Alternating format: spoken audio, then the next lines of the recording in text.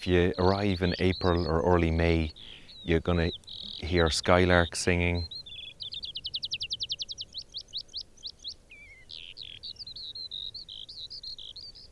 You're going to hear snipe displaying.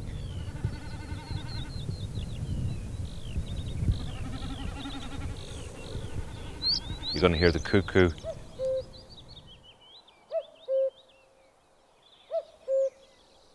But if you come here like we are today in the middle of August, there's stonechats in the background chirping, there's swallows and house martins flying overhead, and there's a hum of all the bees in the background that are pollinating the ling heather.